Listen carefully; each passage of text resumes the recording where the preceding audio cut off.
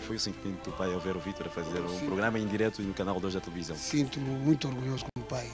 Tenho pedido a Deus que lhe dê muita força, muita saúde.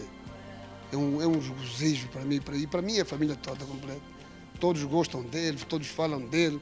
Quando chegam ao pé de mim dizem o Tibig, mas conhecido Big Jorge. O Vitor é o Xalada, é muito boa pessoa. benefícios, né? sempre atrás de- de- de- do melhor.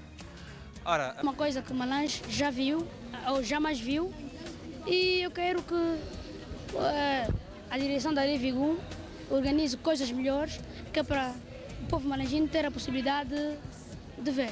Qual é o teu maior desafio? eu nunca olhei para, para, as, para as circunstâncias para fazer bem o meu trabalho.